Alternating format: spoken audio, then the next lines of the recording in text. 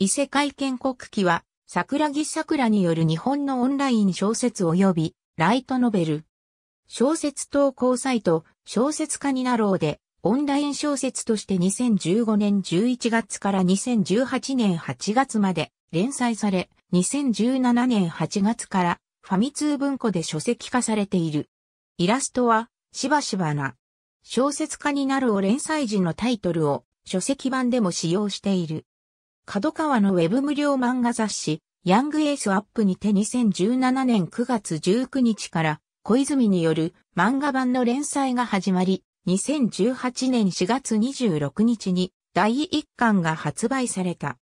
交通事故に遭い、異世界に転生してしまった元サラリーマンの主人公は、自分の姿が見知らぬ少年、アルムスになっていることに気づく。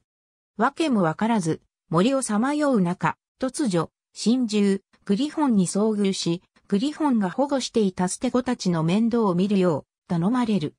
異世界の子供たちと共に、アルムスは前世の知識と経験を活かして農作物を作り、村を建てて子供たちを率いて生きていく。そのうちに少しずつ孤児が集まり、村の噂を聞いて難民がやってくる。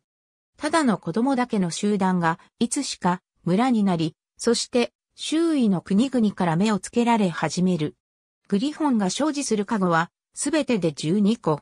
ウェブ無料漫画雑誌、ヤングエースアップの2017年9月19日より配信開始。単行本は、角川コミックスベースにて発売。期間6巻。ありがとうございます。